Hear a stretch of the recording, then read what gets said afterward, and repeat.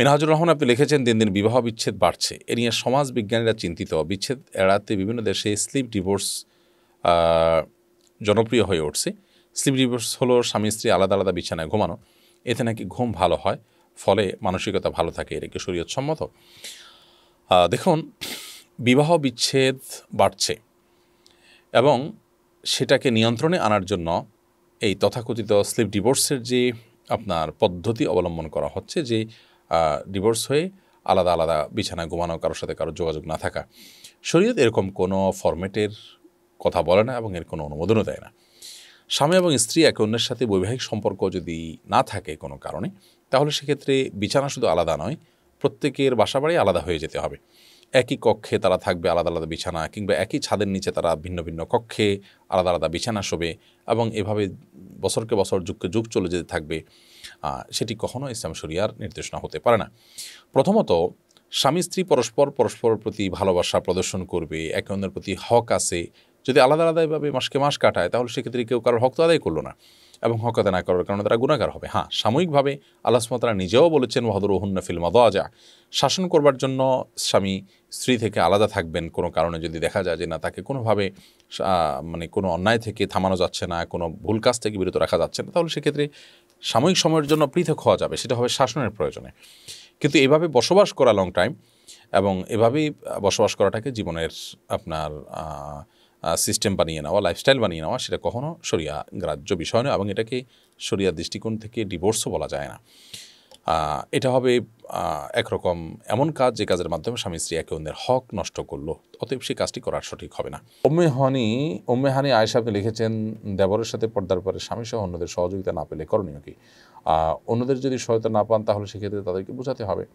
অন্যদেরকে দিয়ে বোঝাতে হবে, ওলামা ইকরামদেরকে দিয়ে বোঝাতে হবে কাউন্সেলিং করতে হবে, আল্লাহ তার কাছে দোয়া করতে হবে তাদের জন্য। এবং স্বামীর কাছে স্ত্রীর আর্গুমেন্টের অনেকগুলো জায়গা থাকে, সে আর্গুমেন্ট পেশ করতে হবে এবং সেই আপনার কি বলে এটাকে, স্বামী স্ত্রী সুলভ যে আবদার আছে, স্বামী স্ত্রী সুলভ যে পরস- পরস্পরের প্রতি যে আপনার দাবি করার জায়গা আছে, সেই জায়গাগুলো ব্যবহার করতে হবে এবং তাকে যেভাবে কনভিন্স করার জন্য চেষ্টা করতে হবে এবং নিজের এটা একটা এটা একটা আত্মসম্মানের ব্যাপার একজন নারীর যে তিনি তার দেবরের সাথে অবশ্যই পর্দা করবেন। দেবরকে কোনো অবস্থাতে তার সৌন্দর্য অবলোকন করতে দিবেন না।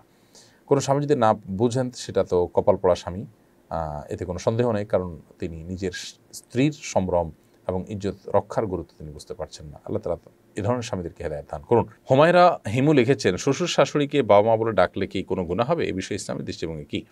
বাবা মা বললে কোনো গুণা হবে না।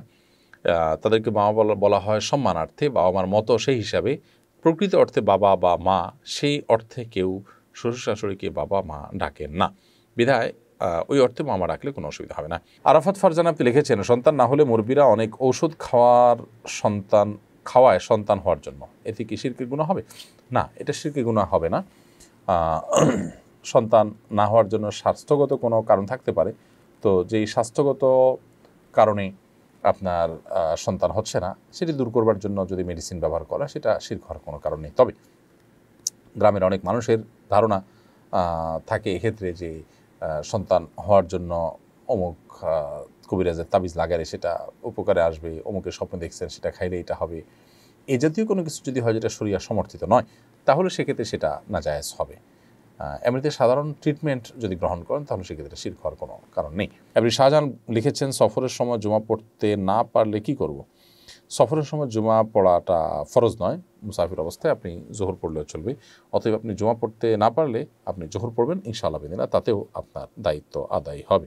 আসাদুল্লাহ গালিব লিখেছেন, সমকামিতে লিপ্ত ছিল এরকম কেউ যদি তবা করতে চায়, সে কীভাবে তবা করবে? শুধুমাত্র তার নিজের কৃতকর্মের জন্য আল্লাহ তালার কাছে লজ্জিত হবে, অনুতপ্ত হবে, তার যে অবস্থান ছিল, এটা ভুল ছিল, এর জন্য সে আল্লাহ তালার কাছে ক্ষমা প্রার্থনা করবে এবং ছোট থাকবে আল্লাহ সুমতালার কাছে এবং ভবিষ্যতে এই ধরনের কর্মকাণ্ড যেন তার দ্বারা না হয়, সে বিষয়ে খুব সতর্ক থাকবে, সাবধান থাকবে, সর্বোচ্চ চেষ্টা করবে। ইনশা আল্লাহ বিদিনিল্লা এর মধ্য দিয়ে সে তার এই তবার কাজটি করল এবং ইনশাআল্লাহ বিদিনিল্লা আল্লাহ তালা তাকে মাধ্যমে মাফ করবেন।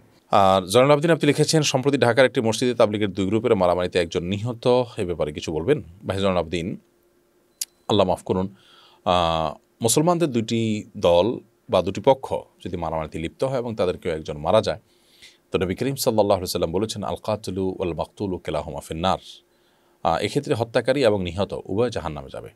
প্রশ্ন করা করা হলো যে হত্যাকারী জাহান নামে যাবে সেটা তো পরিষ্কার, কিন্তু নিহত ব্যক্তি কেন জাহান নামে যাবে?